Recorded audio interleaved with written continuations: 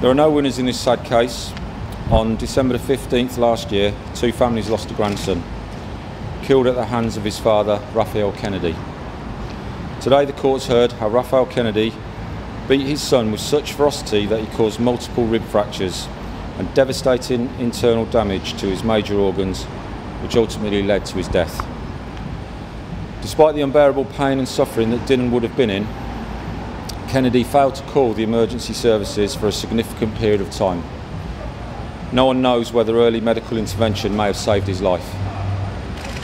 Blood tests showed that Dylan had extremely high levels of cocaine and other Class A drugs in his system at the time of his death, something which Kennedy admitted being responsible for. To be absolutely clear, six nationally recognised professional experts all agreed that the catastrophic injuries which caused Dylan's death cannot be explained by simple fall or any pre-existing condition.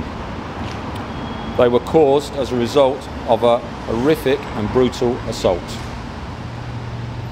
It's unimaginable for most of us to believe that a parent could be responsible for killing their child.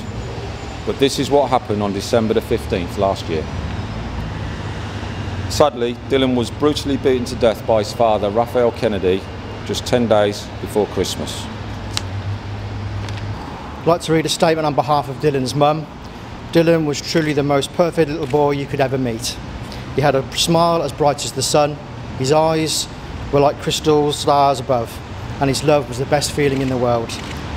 Dylan loved singing and dancing, but now he will be dancing in the sky. Knowing I won't get to hold my baby again leaves a pain like no other. Your footprints have left a forever memory in my heart. My sleeping prince, I love you, Dill. I want to take this opportunity to thank Northamptonshire Police for their hard work and support in this last year.